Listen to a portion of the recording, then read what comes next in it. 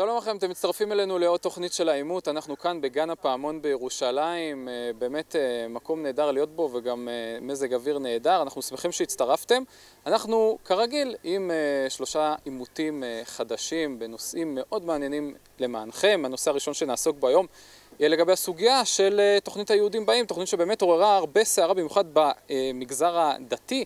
ואנחנו רוצים לדעת uh, מה דעתכם uh, בבית וגם מה דעתם של האורחים שלנו. הסוגיה השנייה תעסוק גם היא במגזר הדתי והחרדי uh, לגבי קמפוסים באקדמיה, האם הקמפוסים שלהם צריכים להיות נפרדים או שמא המגזר החרדי צריך להמשיך וללמוד ביחד עם שאר המגזר החילוני.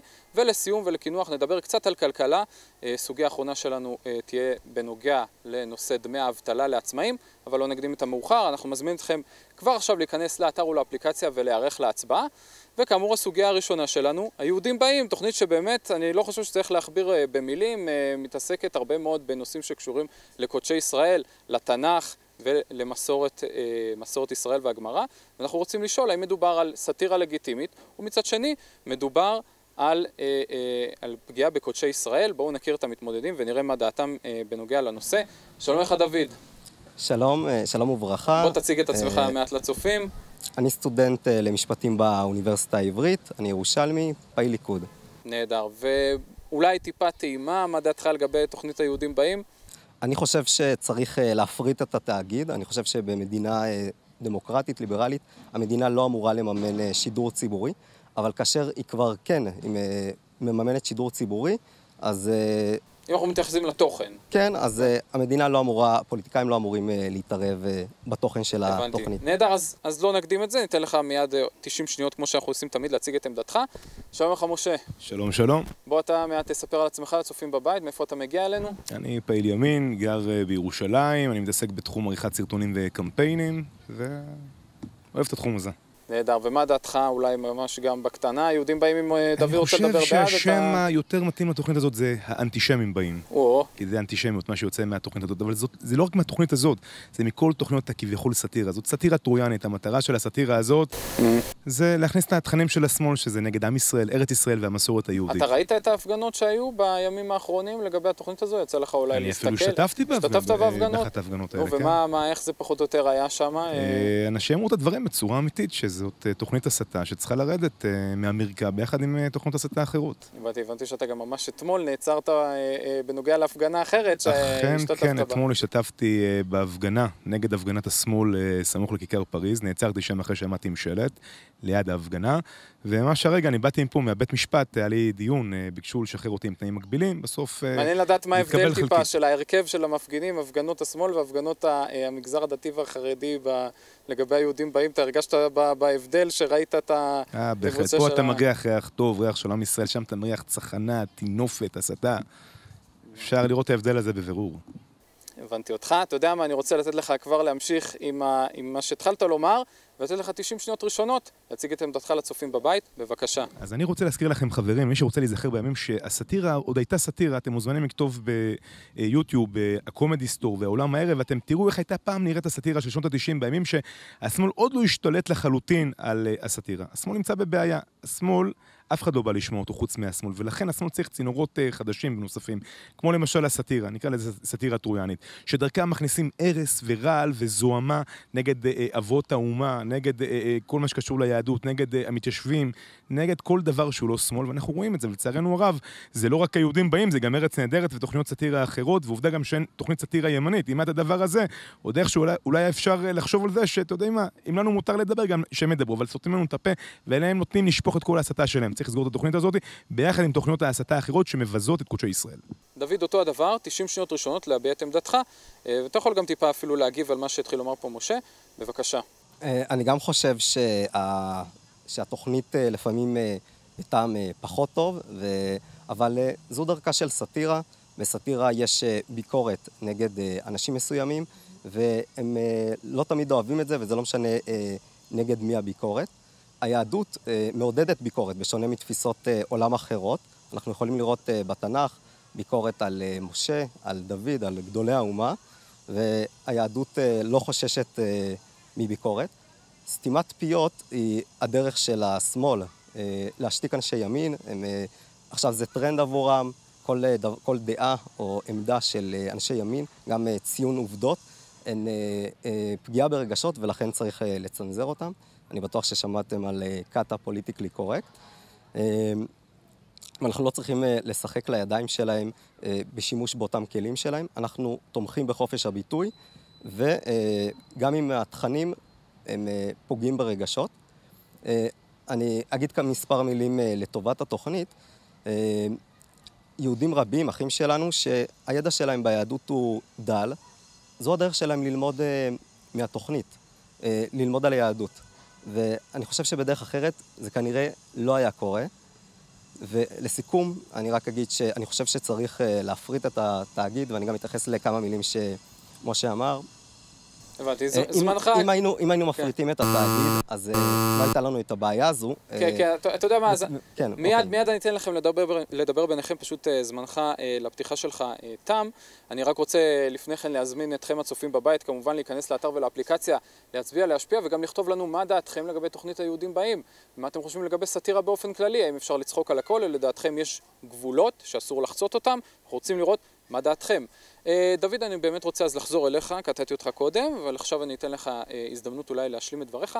קודם כל, אתה אמרת משהו שיכול להיות שיש בו מן האמת, אבל הוא מעט צרם לי. אתה אומר, יש קהלים במדינת ישראל, בארץ ישראל, שהם לא מכירים את התנ"ך ואת היהדות ברמה כזו, שמקור הידע שלהם יהיה הסאטירה הזו של היהודים באים עם כל העיוותים שלה ועם כל הבעייתיות של זה.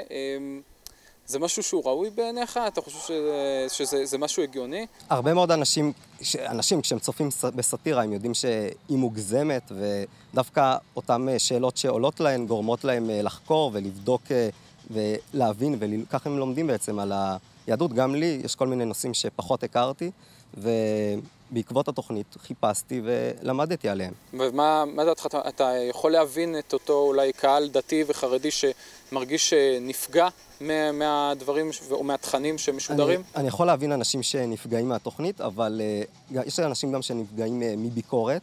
זו לא הצדקה uh, להשתיק ביקורת, וסאטירה זה אחת הדרכים הלגיטימיות להעביר ביקורת. הבנתי אותך דוד, אז תודה, מיד אני אתן לכם uh, uh, להמשיך ולהתעמת. לך, משה. אתה שומע מה אומר פה דוד, וגם בזה יש מן האמת, הוא אומר לך, אנחנו הימין, אנחנו לא, לא כמו השמאל, הוא אומר, ובאופן כללי אנחנו לא רוצים להידמות לאנשים שסותמי פיות. אז מה, זה סאטירה, ניתן להם לדבר, אנחנו לא רוצים להיות מאלה שמשתיקים, אנחנו לא רוצים להיות uh, מאלה שאוחזים כל הזמן ב- ב- באותו מקל של הפוליטיקלי קורקט, אל תגיד ככה, אל תגיד ככה. שכל אחד יגיד מה שהוא רוצה, מה דעתך? זכותו של כל אחד להביע ביקורת ולהגיד את אה, דבריו, גם שזה לא מייצג את הדעה ואת הביקורת שאני אה, מתחבר אליה. אבל פה זה כבר לא ביקורת, זאת הסתה, זה רעל, שהמטרה של הרעל וההסתה האלה זה פשוט לפוצץ את המוחות של הילדים, של הציבור, של הנוער, של כל עם ישראל, של כל עם ישראל, ולצערנו הרב הם עושים את הדברים האלה. ואמרתי לך, יש הבדל בין ביקורת להסתה, ומה שקורה עם התוכנית הזאת זה רק הסתה. רק הסתה. הבנתי אותך, אז אתה יודע מה, אני רוצה שאתה עכשיו אה, תגיב לדברים שאמר דוד, דוד גם אתה תגיב למה שאמר כאן אה, קודם משה, ואני אתן לכם את המספר דקות שלכם בלי הפרעה שלי. אדרבה, דוד, אני בעד שאנשים ישמעו הכל, יראו הכל, את כל הצדדים, ויחליטו מה מתאים להם, אבל פה זה רעל, זה הסתה, זה, זה טינופת, זה נועד להכפיש את היהדות, זאת המטרה שלהם, אתה אדם חכם, אני מכיר אותך, אתה עושה הרבה דברים טובים. אה, כן, אנחנו מיודדים. דוד, אתה יודע את הדברים האלה, אתה יודע את זה, אל תהיה תמים, אל תהיה תמים. תן את הפתחון פה לביקורת, לחופש הדעה וחופש הדיבור, אבל לא להסתה ולא לרעל ולא למוקשים שיוצרי התוכנית אה, אה, הזאת מנסים לפזר ולהרעיל לנו ולפוצץ לנו את הראשים. אני לא חושב שיש שם הסתה, ודאי שלא. אה, מדובר כן בביקורת וגם לפעמים בכל... כן, ודאי, זו סאטירה וזה הדרך שלה. אני רוצה לדעת, למשל בחדשות 13 או 12, אתה חושב שגם צריך לפקח עליהם ולצנזר תכנים דומים, כמו למשל את ארץ נהדרת? אני, א', ברור, תשמע, ארץ נהדרת וגם אה, אה, היהודים באים, האנטישמים באים, זה שם יותר אה, מתאים לתוכנית הזאת. אה, זו תוכניות רעל והסתה. איפה אתה חושב שעובר הגבול? מי בעצם יקבע אם משהו הוא הסתה או לא? את, מי, הפוליטיקאים שלנו? אתה יודע מזה שזה בסופו של דבר יהיה כלי של השמאל. אתה רואה שהם כל הזמן נותנים בראש ליהדות. זה יהיה כלי של לחרדים. זה יהיה כלי של השמאל להשתיק את הימין. למתיישבים, לכל דבר שקשור, לא לצד השמאלי, בום, קודשים. כדי לעשות מה שנקרא עיוות אופטי, לפעמים גם קצת צוחקים על החבר'ה של השמאל, אתה רואה בבירור שמה שהם עושים כלפי השמאל זה דבר אחד, ומה שהם עושים לנו זאת הסתה רעילה ואגרסיבית. אין ספק שהתקשורת אה, מוטה, אבל אה, אם אנחנו ניתן בעצם לממשלה כלים אה, לפקח על התקשורת. מה שיקרה זה, זה שכמו שלמשל, נתנו כלים, לכאורה, בית המשפט נטל לעצמו כלים אה, אה, להגן על זכויות אדם, אנחנו רואים שגם, אה, שמה שקורה זה שבית המשפט מוטה לטובת אה, הצד השמאלי, ואנחנו גם נראה את זה פה, אם, אם למדינה תהיה את היכולת לפקח ולבקר את התכנים, אז אנחנו נראה שבאותם כלים שאנחנו ניתן להם, הם יסתמו ביקורת של ימנים, כן. ולשמאל הם יטענו שזה לא... תאר לך שמחר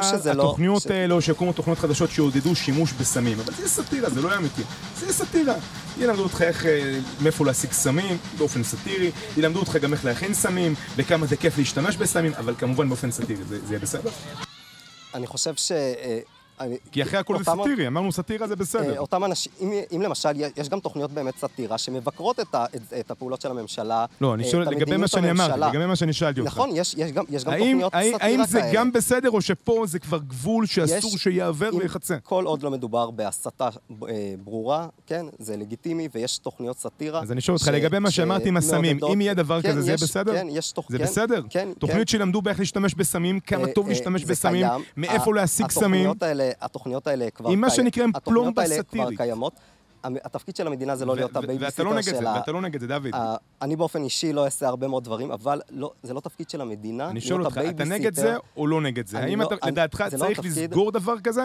או שצריך לתת לו להתפרסם, שאנשים ידעו, כן, ויפלו בפח ויפלו לתהום? המדינה לא אמורה אה, לפקח על התכנים האלה. זה לא התפקיד של המדינה, המדינה היא לא הבייביסיטר שלנו. אז אני חושב שהמדינה צריכה לשמור על העם.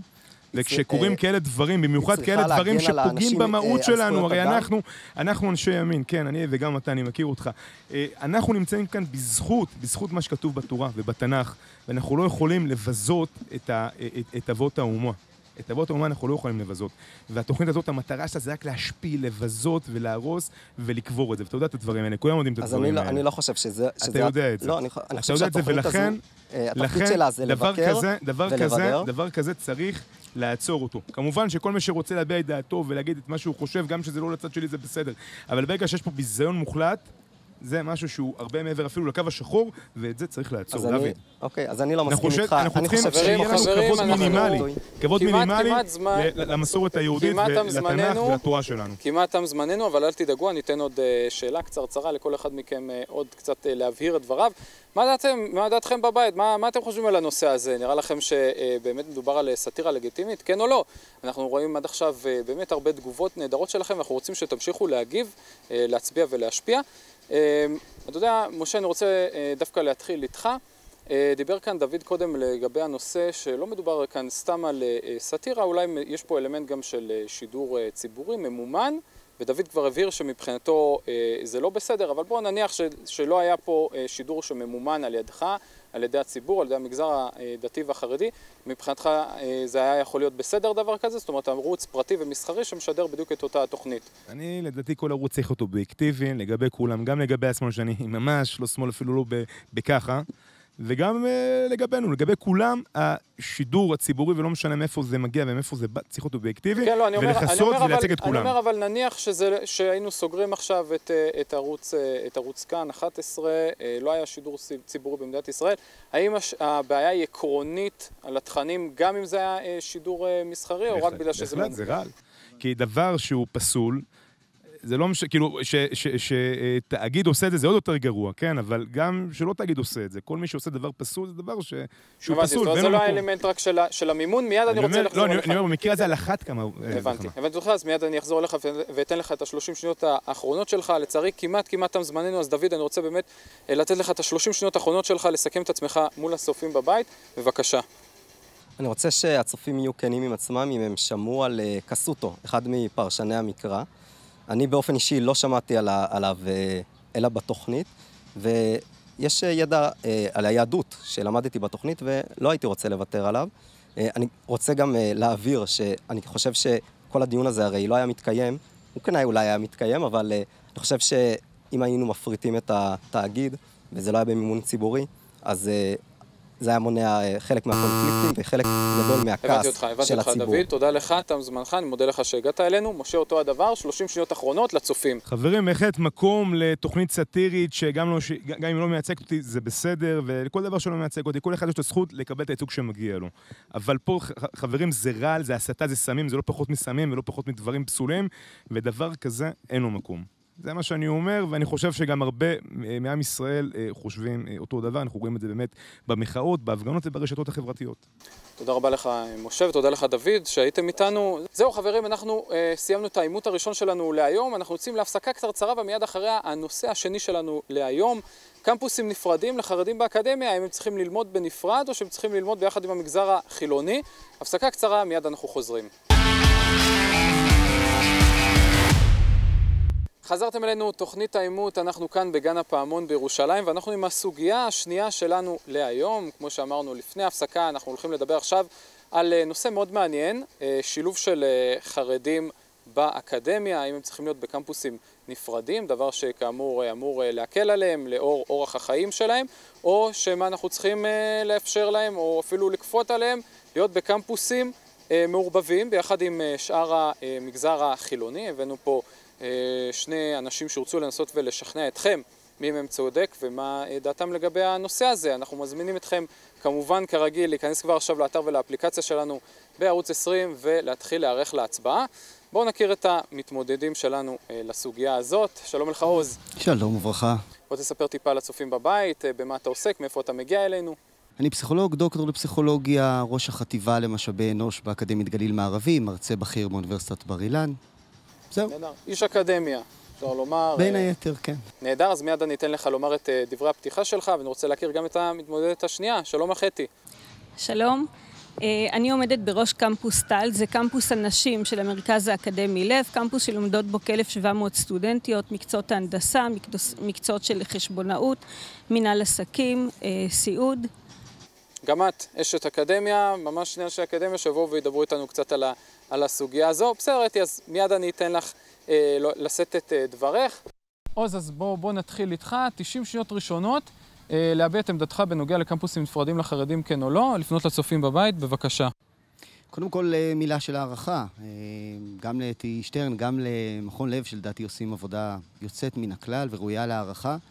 אבל עם כל הערכה, בסופו של דבר, הפרדה בין נשים לגברים באקדמיה היא פשוט מסווה לאפליה. לאורך כל ההיסטוריה, לא משנה אם מדובר בהפרדה בין שחורים ללבנים, בין אשכנזיים למזרחיים, הפרדה באקדמיה הייתה פשוט מסווה לאפליה, והמקרה הזה לא שונה בכלל. אני מלמד באוניברסיטת בר אילן, אוניברסיטה דתית, אבל היא אוניברסיטה שמאמינה בחיבור ולא בהפרדה. אצלי בכיתות יושבים סטודנטים שהם דתיים וחילוניים, יושבים סטודנטים שהם אה, נשים וגברים, והכיתה יוצרת חיבור. בסופו של דבר זאת היגררות אחרי, אה, פשוט אחרי קיצוניות. מה השלב הבא? האם אנחנו צריכים גם להפריד אוטובוסים? אה, רגע. אוטובוסים כבר מופרדים, אז אולי נפריד גם רכבות. נפריד אה, רכבות לקרון של גברים וקרון של נשים, ורחובות לגברים ולנשים. אני אגיד יותר מזה. המוסדות להוראה שמפרידים גברים ונשים רוצים שנאמין שרק כך אפשר לשלב חרדים, אבל כל סקר שמבוצע, כולל של פורום קהלת, מראה שרוב הלומדים החרדיים אומרים שזה לא תנאי מבחינתם ללימודים אקדמיים. אז מה אנחנו צריכים? פחות הפרדה, יותר חיבור. תודה רבה לך עוז, מיד אני אשוב אליך אולי עם איזו אה, שאלה קטנה לפתיחה. בשמחה. אתי אותו הדבר, 90 שניות ראשונות לפנות לצופים בבית, בבקשה. טוב, אז uh, יש לי הרבה ניסיון. Uh, במוסד שלנו, המרכז האקדמי לב, יותר מ-40% מהסטודנטים הם חרדים. אנחנו נמצאים בקמפוסים נפרדים, קמפוס גברים וקמפוס נשים. ואני יודעת בוודאות מהיכרותי העמוקה את הסטודנטים ואת הסטודנטיות שהם לא היו מגיעים בכלל ללימודים אקדמיים אם הקמפוסים לא היו נפרדים, אם לא היינו מאפשרים להם לימודים בהפרדה.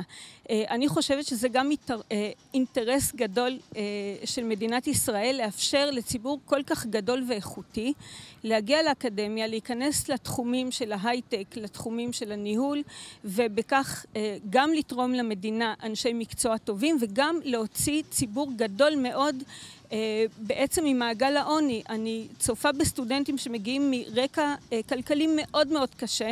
אני רואה מה קורה להם אחרי שהם גמרו את הלימודים, איך הם היום מפרנסים משפחה בכבוד, איך הילדים שלהם כבר מגיעים למעגל אקדמי וממשיכים את המעגל הזה. ואני חושבת ש...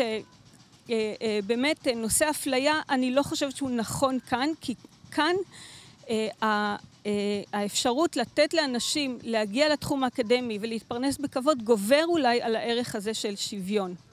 תודה רבה לך אתי. אה, מה אתם אומרים בבית? מה דעתכם? מי שכנע אתכם עד עכשיו? וכנסו כבר עכשיו לאתר ולאפליקציה, אנחנו רוצים לדעת מה דעתכם. אנחנו גם מקבלים אחלה של תגובות עד עכשיו, אנחנו רוצים שתמשיכו לכתוב ולהגיב לנו.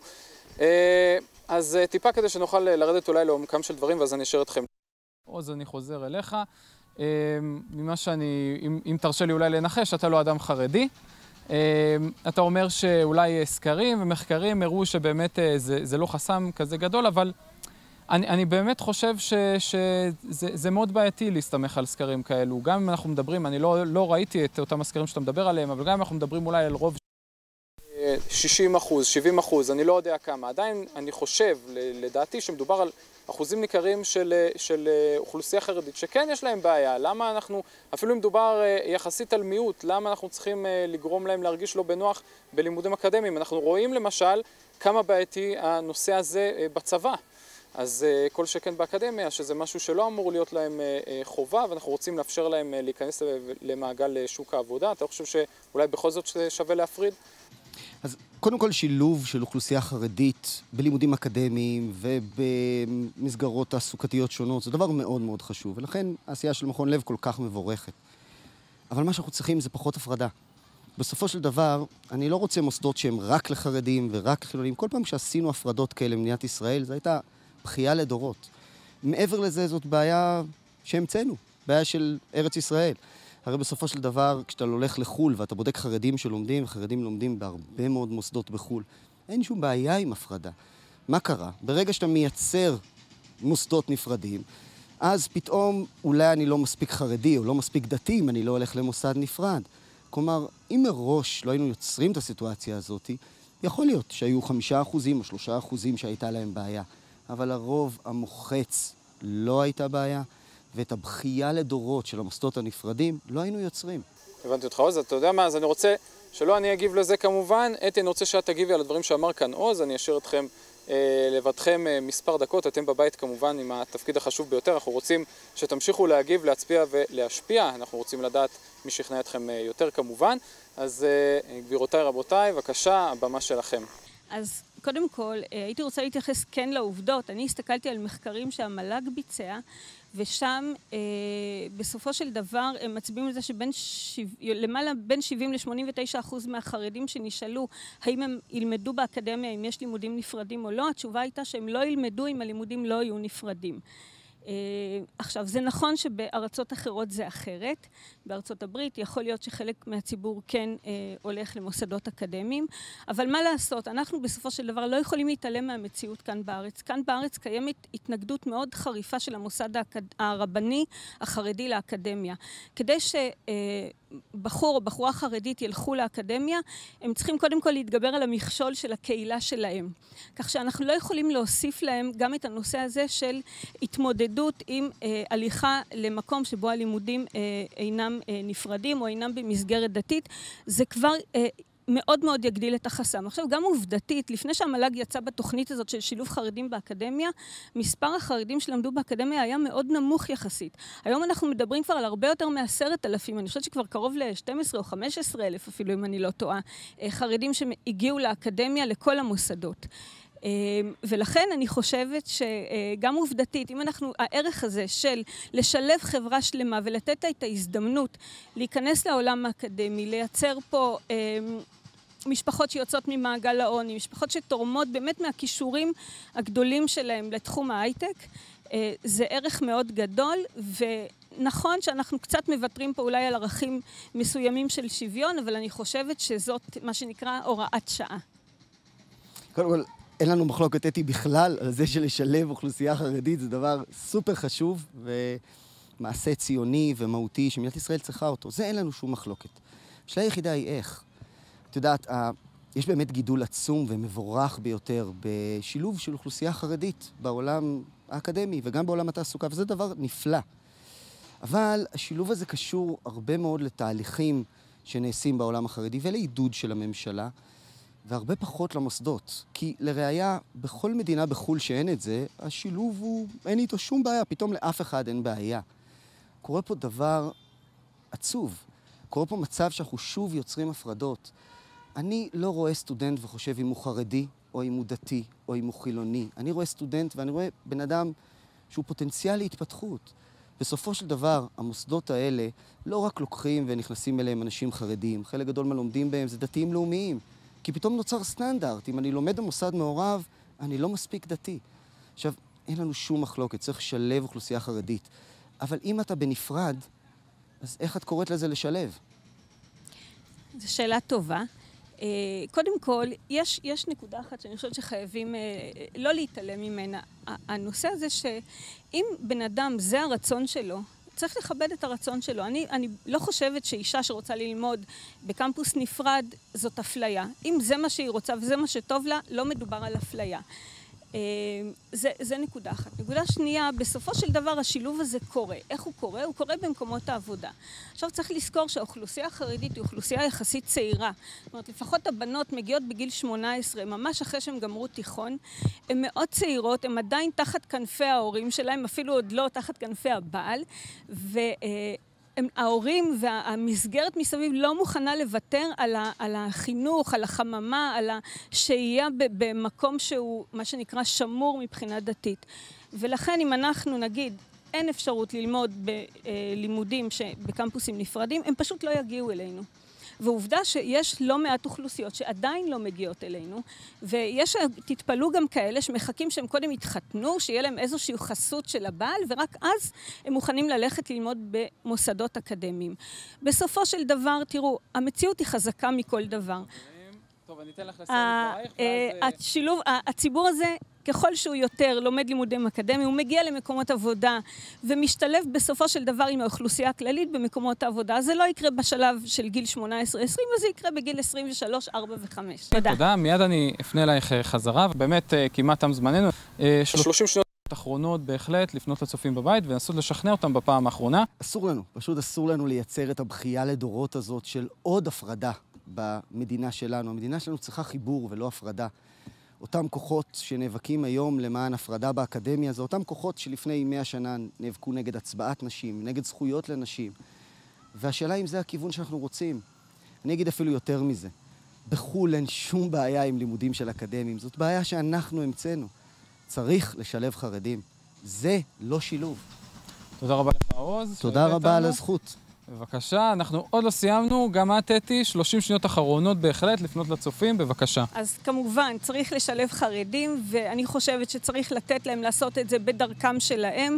מדינת ישראל רק תצא נשכרת מהמהלך הזה, שנעשה את זה בדרכם שלהם, ובסופו של דבר השילוב והקשר עם האוכלוסייה הכללית יגיע במועד מאוחר יותר, עוד כמה שנים, אחרי שהם כבר יהיו במעגל העבודה. תודה רבה.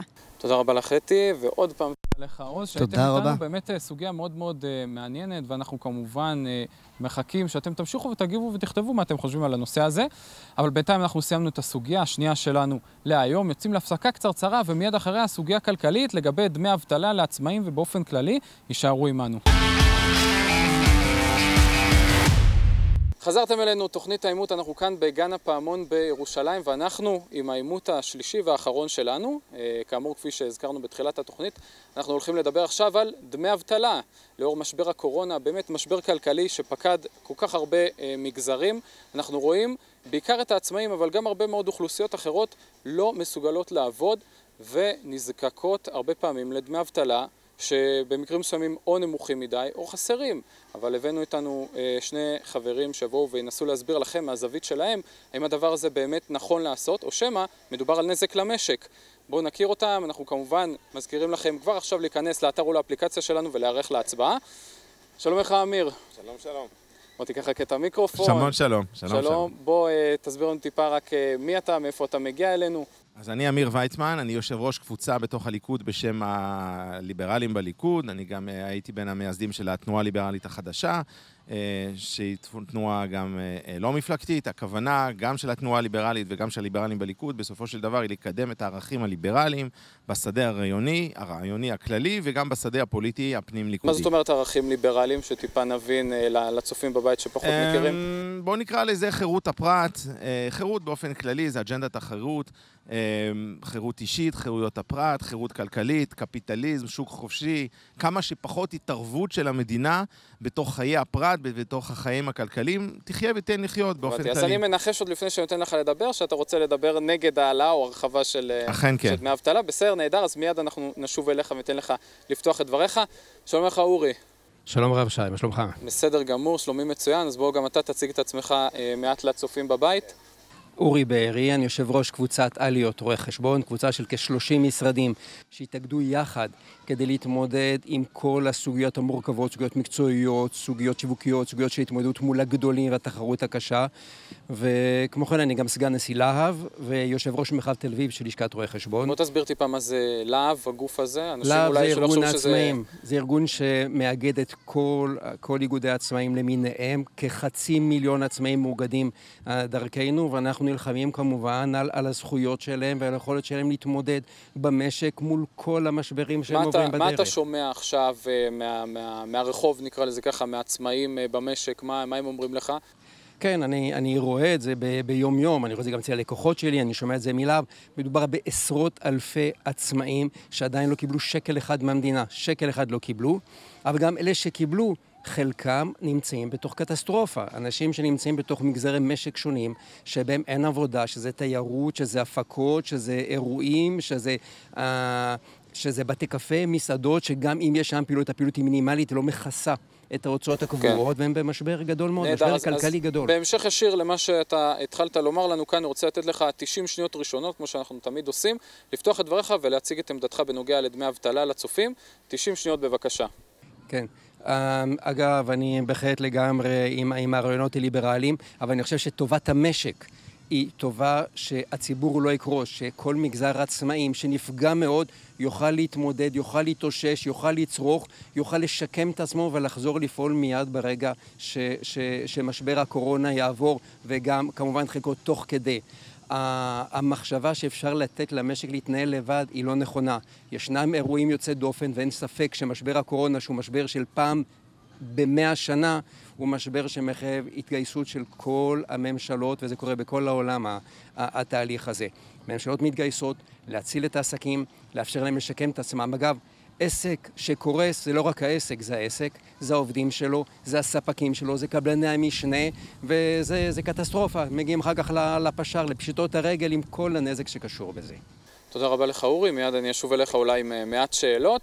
אמיר, אותו הדבר, גם לך 90 שניות ראשונות להגיב גם אה, על הדברים שאמר פה אורי וגם להציג את עמדתך לגבי אה, דמי אבטלה. בבקשה. כן, קודם כל אני רוצה להגיד שהרבה פעמים אני מגיע לעימותים שהם מאוד חמים. זה לא המקרה פה. זה באמת לא המקרה, אני לא חושב שאני אני, אני בעד העצמאים, כמו אני בעד כולם, אבל אני, ברור שהמגזר העצמאי הוא, הוא, הוא מגזר שהוא... הוא ה-backbone, מה שנקרא באנגלית, הוא, הוא חוד החנית של הכלכלה הישראלית, ומאוד חשוב לשמור עליו. אה, זה גם ברור, ואני גם מסכים איתך לגמרי, שאנחנו לא נמצאים במצב שהוא רגיל. אה, ואם באופן כללי אנחנו מדברים על זה שהמדינה לא צריכה להתערב, וכמעט, מבחינתי, לא לעשות כמעט שום דבר, זה ברור שפה ישנן אה, נסיבות מיוחדות שמצדיקות דברים שאולי בשגרה אנחנו לא היינו עושים. אז, אז קודם כל זה חשוב להגיד את זה מראש. יחד עם זאת, צריך בכל זאת אה, להגיד שלא כל התערבות היא, היא מוצדקת. אנחנו זוכרים למשל שב-2008, אה, במשבר הגדול הפיננסי של 2008 ו-2009, ממשלות בעולם אה, התערבו מאוד, בישראל דווקא לא התערבו. התוצאה היו, התוצאות היו מאוד ברורות, וזה שמדינת ישראל שרדה את המשבר הרבה יותר טוב אה, ממדינות העולם. אנחנו עברנו אותו הרבה יותר טוב. יש לזה גם סיבות ולא נוכל להרחיב פה, אבל בסופו של דבר צריך לדעת שיש דברים שאפשר לעשות, אפשר לאחד אה, שנת מס קודמת עם השנה הנוכחית. אה, זה ברור שברגע שהממשלה סוגרת עסק, אז בצורה כזו או אחרת צריך לפצות את העסק. אה, יש דברים לחשוב עליהם, אבל בזהירות ובמתינות. תודה רבה לך, אמיר. מה אתם אומרים בבית? מה לדעתכם? צריך להעלות ולהרחיב את דמי האבטלה גם לעצמאים ולעוד מגזרים, או שלדעתכם באמת מדובר על אה, פגיעה אה, במשק, למרות מה שאולי אה, חלק אה, חושבים? כנסו כבר עכשיו לאתר ולאפליקציה, כמו שהזכרנו קודם, הצביעו והשפיעו. אנחנו רוצים גם לראות את התגובות שלכם ולראות מה אתם חושבים לגבי הנושא הזה, האם אתם עצמאים, לא עצמאים, ואיך אתם מתמודדים עם המשבר הזה. אה, אורי, אני רוצה לחזור אליך. אה, אתה יודע, אה, לאור מה שאומר כאן אה, אמיר ובאופן כללי, יש הרבה טענות שאומרות שבאמת דמי אבטלה יכולים לגרום לנזק למשק. הרי אה, מדובר על הרבה פעמים שיש מצבים אבסורדים שבהם משתלם אפילו לחלק מקהל העובדים במשק לא לצאת לעבוד או לא להמשיך לעבוד בגלל שהם מעדיפים כבר לקבל את הכספים שהם מקבלים מהמדינה. אה, מה אתה חושב על הבעייתיות הזאת, על הטענות האלו? אני חושב שגם במקרה הזה לא יהיה לנו עימות חד, כי אני מסכים עם זה. אני חושב שיש יש, בדמי האבטלה איזשהו אלמנט של חוסר מוטיבציה ליציאה לשוק. נהפוך הוא, ישנם מקרים, וזה קרה גם לי, אני פרסמתי מודעה שאני מחפש עובדים. הייתי בטוח שאני אקבל מאות פניות, קיבלתי פנייה אחת, קורות חיים אחד בלבד, בימים שבהם יש 25 אחוז האבטלה. זה מטורף לגמרי. ובכל זאת שאנחנו מדברים עכשיו על תקופת הקורונה ועל מה שקורה כן, כרגע. זה היה בתקופת הקורונה, וצריך לדייק, צריך לדייק מאוד את המעורבות בדמי האבטלה, ולראות איך שמגיעים רק לאנשים שבאמת נזקקים. וקהלים רבים ש, שהם נמצאים על גבול של, ה, של, ה, של האינטרס לקחת דמי אבטלה, כי פשוט כדאי להם, ככה הם עובדים, פשוט כדאי להם. צריך לראות איך שמורידים אותם מרשימת הזכאים לדמי אבטלה. זאת בעיה קשה מאוד. המשק יתקשה להתרומם כל עוד יש מוטיבציה כל כך גדולה לאנשים לשבת בבית, לראות סרטים של נטפליקס. אז, אז בהחלט אני אוקיי. מצד אחד בהחלט חושב שצריך לתמוך בעסקים שבמצוקה ובשכירים שנמצאים במצוקה, ויש רבים כאלה, יש רבים כאלה. אה, לא להתבלבל, התפוסה המלאה באילת היא לא אומרת שהמשק בסדר גמור, לא, היא אומרת שיש קהלים שלא נפגעו בכלל מהקורונה. שכירים רבים, פנסיונרים, יש קהל רחב שלא נפגע בכלל מהקורונה, כן, נהפוך הוא. אבל אני באמת רוצה להגיע לאותה נקודה שאומרת שבכל זאת אתה הרי בכל זאת כן אה, בעד אה, דמי אבטלה לגמרי, ברמה מסוימת? לגמרי. זה דמי אבטלה לעצמאים וגם למגזרי המשק של השכירים שזקוקים לזה. זה חשוב, זה חיוני גם לאותו ציבור כסוגיה, כסוגיה סוציאלית, וגם למשק. המשק, כדי לחזור לתיקונו, כדי לחזור לעבודה רגילה ביום שלאחר המשבר הגדול, חייב לשמור את האוכלוסייה הזאת כאוכלוסייה שנמצאת בתור אזור הכלכליות, ולא בתוך אזור פשיטות הרגל ו- ו- וחוסר סולבנטיות. הדבר החשוב למשק, אני חוזר, לא רק לפרטים. הבנתי אותך, תודה. אמיר, אני רוצה שתגיב מעט על הדברים, אני רוצה שיתפתח כאן אה, מעט דיון, אז אני רואה שיש באמת דברים שיש ביניהם הסכמות, ובכל זאת אה, הסוגיה עצמה של דמי אבטלה לחלק מהעצמאים לפחות, וגם לחלק מהמגזר אה, הציבורי, זה משהו שכן צריך לדבר עליו, אז אני אשאר אתכם עכשיו מספר דקות, ואתם בבית, כמובן, כמובן, לכם יש את התפקיד הכי חשוב, אנחנו רוצים שאתם תגיבו לנו, תצביעו ותשפיעו וגם תכתבו מה אתם חושבים בנושא. אז רבותיי, יש לכם עכשיו מספר דקות, בבקשה. כן, אז אני חושב שאחד הנושאים שהוא קשור ל... יש פה שתי בעיות, כן, אה, שקשורות לדמי, לדמי, לדמי האבטלה. אחת, זה באמת, כמו שאתה היטבת לתאר, את, ה, את התמריץ השלילי ליציאה לעבודה. אה, וזה ברור לגמרי, ואנחנו רואים את זה, אה, אתה נתת את הדוגמה האישית שלך, אבל זה ברור שאנחנו רואים את זה לאורך כל המשק, ולכן חייבים מאוד מאוד להישמר מזה ולא לשפוך סתם כסף. זו הנקודה הראשונה. הנקודה השנייה היא כמובן שהכסף הזה לא בא חינם. ממשלה לא נותנת כסף, היא רק לוקחת כסף. היא יכולה לקחת באשראי, אבל אנחנו נצטרך בסופו של דבר אה, להחזיר את כל הכסף הזה, אה, ובריבית דריבית. ברור אה, לגמרי. זה אומר גידול החובות, ומן הסתם בסופו של דבר מי שישלם את זה בואו לא נתבלבל, כן? זה העצמאים, זה, זה, זה, זה העסקים. משלמי המיסים למיניהם. משלמי המיסים, אבל מי שמשלם את עיקר המיסים זה אתם לצורך העניין. אה, אה, ולכן בסופו של דבר המשמעות היא כאילו לקחת אה, כסף מהכיס שלכם ואז להחזיר על כל שקל 60 אגורות במקרה הטוב. אז לכן צריך להיות מדויקים, הממשלה צריכה להיות מדויקת. יש כספים שהוזרמו למשק, 6 מיליארד שקלים שהוזרקו, שהוזרמו למשק, הוזרקו למשק. חד משמעית. בצורה מיותרת לחלוטין. לגמרי. ה-750 שקל, אנחנו חייבים להיכנס לעימות, אתה חייב לא להסכים איתי. ה-750 שקל... אני לא רוצה סתם להיכנס לעימות, אני מסכים איתך. ה-750 שקל האלה זה 6 מיליארד שקל, מעל 6 מיליארד שקל שהוזרמו לחינם. צריך להיות מדויקים, צריך לראות את הדברים האלה. אגב, משברי עבר שהמדינה שלנו עברה בהצלחה, כמו למשל הסאב פריים, בין השאר עברנו אותו בהצלחה כי הייתה, הייתה רגולציה מאוד מאוד חזקה לבנקים שלא אפשרו להם לתת משכנתאות מעבר לתקרות מסוימות. כך שגם בנושא הזה שהזכרת מקודם, אנחנו יצאנו, יצאנו, יצאנו במצב טוב יחסית ממשבר הסאב פריים, בין השאר בזכות רגולציה ו- ובקרה של בנק ישראל על הבנקים, כי הבנקים היו שמחים לתת אה, אשראים ומשכנתאות הרבה הרבה יותר גדולים, אבל, אבל באמצעות בנק ישראל ורגולציה עצרו אותם. אני פה חייב לחלוק עליך. חייב קצת להתעמת איתך, אבל זה לא נכון. אה, זה לא נכון, משום שאני אה, במקרה התעסקתי בתקופה הזאת עם משקיעים מוסדיים, ואני יכול להגיד לך שזה בעיקר לא בגלל רגולציה, אלא בגלל שהבנקים הישראלים מאוד פיגרו אה, בהתפתחות הפיננסית שלהם, בגלל הרגולציה, דרך אגב, אחרי העולם, ולכן אותם מוצרים פשוט לא הגיעו אה, אה, לבנקים הישראלים בזמן כדי לגרום נזק, אבל כבר התחילו. זאת אומרת, במקרה יצא טוב במובן הזה לבנקים הישראלים שהמשבר היה ב-2008 ולא ב-2010. אם המשבר הזה היה קורה, מתרחש ב-2010-2011, כנראה שלמרות הרגולציה, הבנקים היו מפוצצים, הבנקים הישראלים היו מפוצצים במוצרים האלה, הרגולציה רק גרמה נזק, לא עזרה בכלל, אה, למעט זה שהיא כרגיל גרמה לפיגור. אה, של הבנקים הישראלים ובכלל נותני השירות אחרי כל מה שקורה בעולם, ולכן הם פשוט לא הספיקו לגרום נזק, אבל אה, זה, זה, זה, זה רק עניין אה, נסיבתי, זה ממש לא עניין מהותי. אני לא הבאתי סטטיסטיקות מ-2008, אבל אני זוכר היטב שדרשו עצמי באותן תקופות, ומה שנעשה... דרשו בכל העולם, נכון, זה לא נכון, משהו אבל, שהוא מיוחד לישראל. אבל בכל העולם הקפידו על זה, בכל העולם דרשו את זה, אבל לא הקפידו. אפשרו, משכנתאות של לא, 100% על שווי נכסים שלא כלכליים, גם על הערכות שווי לא ריאליות. בעוד שבישראל דאגו לערכות שווי, דאגו להון עצמי, למינימום עצמי, ו- ולטוב ולרע. יש לזה יתרונות רבים במקרים של, של משברים, יש לזה חסרונות רבים בימים שאנשים רוצים להתמודד עם רכישת דירה ולא מסוגלים, ו- ורק מתי מעט מקבלים הנחות, ואנחנו פוגשים כן, אותם אחר כך בתספורות. המחיר הכלכלי שמדינת ישראל משלמת על הרגולציה באופן כללי הוא מטורף, וזה נכון שבמקרים מסוימים יש גם רווח, זה אף פעם לא שחור ולבן הרי. אבל בסופו של דבר המחיר שלאורך השנים המשק הישראלי משלם עבור הרגולציה הדרקונית הזאת הוא פי עשר, זה עניין של סדרי גודל, הוא פי עשר או פי מאה יותר גדול מהתועלות השוליות שנובעות מזה. אני חושב שמדינת ישראל אה, אה, מסוממת מרגולציה, אנחנו צריכים אה, לאפשר לעצמאים, לעסקים הקטנים, גם לעסקים הגדולים, למעשה לאפשר לכולם אה, לפעול בחופשיות, לסמוך על האנשים, לסמוך על העסקים. וכן, נכון שבמקרים מסוימים נשלם מחיר מסוים, אבל זה לא נושא הדיון. הנושא כן, של אני הדיון... אני רוצה באמת לחזור לנושא של כן. הדיון שלנו, ולהוסיף אספקט נוסף שלא דיברנו עליו מקודם.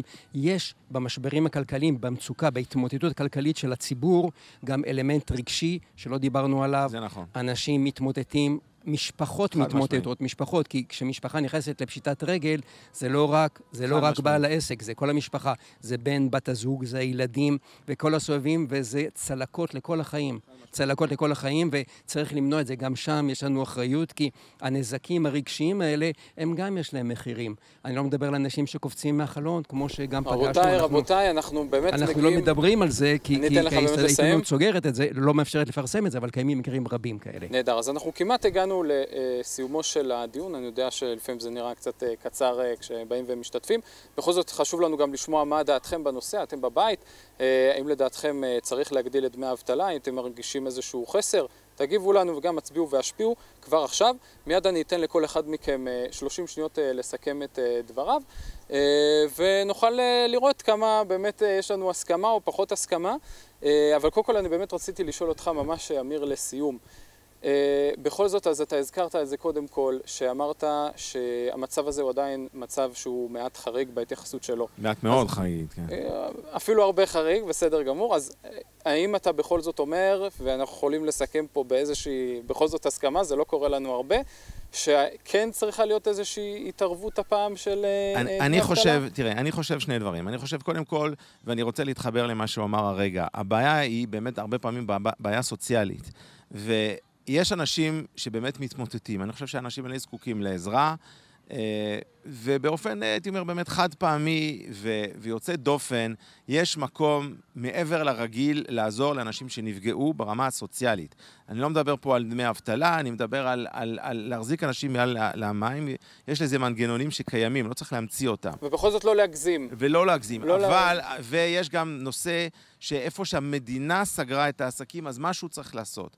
אבל אה, השפיכת הכספים הבלתי אה, אה, מבוקרת הזאת, על ימין ועל שמאל, בצורה שבסופו של דבר לא תועיל למשק, היא בעיקר גורמת נזק, ולכן, ולמרות שזה לא פופולרי, צריך להגיד את האמת, לא צריך להרחיב את דמי האבטלה. נהדר, אז אני מקווה שזה לא בזבזת כבר את כל הסיכום שלך, אני אחזור אליך מיד עם עוד 30 שניות אחרונות בהחלט, כן. באמת שאנחנו קצרים בזמן. אז אורי, גם לך יש עכשיו 30 שניות אחרונות לפנות אל הצופים בבית, להסביר את עמדתך, בבקשה. כן, אני חושב שאמיר ואני מסכימים כמעט על הכל, למעט על המסקנה. המסקנה היא, חברים, אנחנו במשבר, משבר של פעם במאה שנה, עסקים מתמוטטים, טובת המשק, טובת האזרחים, טובת ההישרדות הכלכלית של המדינה והחזרה שלה החזרה שלה לכלכליות נורמלית, כי מישהו צריך לעבוד מחר בבוקר כדי להביא מיסים, להביא דמי ביטוח לאומי, כמו שאמרת, אמיר, וכדי להחזיר את המשק לקדמותו. חובה עלינו להחזיר את המשק ולשמור על הפרטיים כלכלית. תודה רבה לך, אורי, תודה שהיית איתנו, ואמיר, כן, אותו הדבר, 30 שניות אחרונות. כן, אני אוסיף עוד נקודה, והיא כמובן, ולא לא הספקתי במהלך הדיון, אבל זה איך אנחנו מממנים את זה. ואני חושב שצריך להגיד את האמת, וזו הנקודה החשובה ביותר. העצמאים, והעסקים קורסים, קרסו, יקרסו, אנחנו נמצאים במשבר. הם אלה שסובלים. לעומת זאת, יש מגזר אחד גדול במדינת ישראל, ושמו המגזר הציבורי, שממומן מכספי המיסים בין השאר של אותם אה, אה, עסקים, ובו אסור לגעת, אסור לגעת. אז אני רוצה להגיד בצורה ולקבוע בצורה חד משמעית, מותר לקצץ במגזר הציבורי, לא יקרה כלום עם אדם... תודה, תודה לך אמיר, תם זמנך, לקצץ במגזר הציבורי, עם זה אנחנו... זה אולי נזמין אותך לעימות נוסף לגבי הנושא הזה. בכל מקרה, אני רוצה להודות... יותר אה, כן. סוער. אני רוצה אה, להודות לשניכם שהייתם איתנו, וגם לכם הצופים בבית. אנחנו סיימנו עוד תוכנית של העימות כאן בגן הפעמון בירושלים. אנחנו מבקשים שתמשיכו לכתוב לנו עוד בתגובות מה דעתכם לגבי הסוגיה הזו וכל שאר הסוגיות שהיו לנו כאן בתוכנית. ועד אז להתראות.